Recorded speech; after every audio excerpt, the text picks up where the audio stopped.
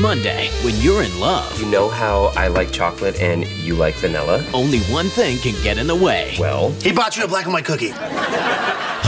Your friends. It'd be nice if you were friends with my best friend. hey, you think Connie needs a hand with that guy? She looks annoyed. No, that's just her face. A new Mad Love CBS Monday. And now, an exclusive extended preview.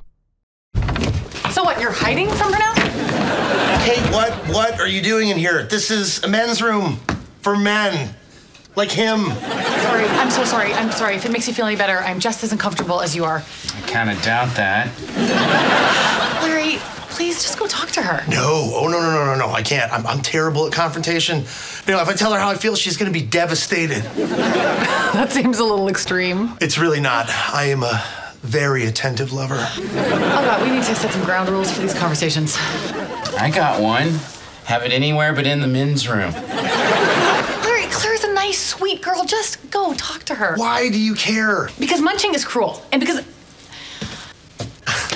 Never mind. Hold on. You got munched, didn't you? Hey, guy at urinal, why are you still here? I can finish up later. God willing.